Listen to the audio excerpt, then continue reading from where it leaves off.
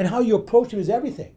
Gary Klugiewicz, a Milwaukee consultant, is on campus this week teaching UVM police how to lower the temperature of everyday interactions.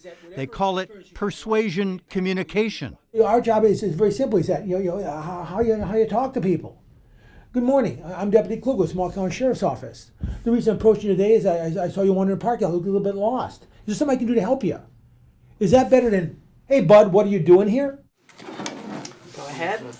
That's uh, that. I'll get that in a minute. To demonstrate, they had me put on a Kevlar vest and a real gun belt, There you go. You can hook that. which felt like a compression garment, Don't press any of the buttons unless I tell you to. get into a police cruiser, and pull over a motorist. She's actually Vistelar trainer Jill Wiesenthal. I'm supposed to give her a ticket for speeding down Main Street through a red light. Morning. Morning. How you doing? I don't know. I'm, I'm gonna be late for work. She's annoyed, says she'll be fired from her job for being late, and it's close to Thanksgiving. He's like, it's already 10:44, and She's pushy, So, so here's your ticket, ma'am.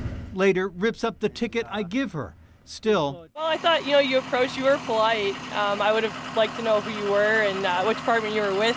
Despite my rookie mistakes, the takeaway is the interaction.